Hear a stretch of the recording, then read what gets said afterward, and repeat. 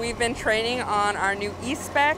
Today we are actually cooking for 30 surprise VIP guests. Today we are making bacon, egg, and cheese bagels and sausage burritos and French toast. It's our kitchen when we deploy to any deployed location. It's a kitchen we'd set up if there was nothing there. This is actually the newer ESPEK. We had an old spec kitchen, but this is our newest version. And so we're all learning about it. So the four of us in guard are going to be the ones training on it. So we're training now so we can train everyone in our unit later.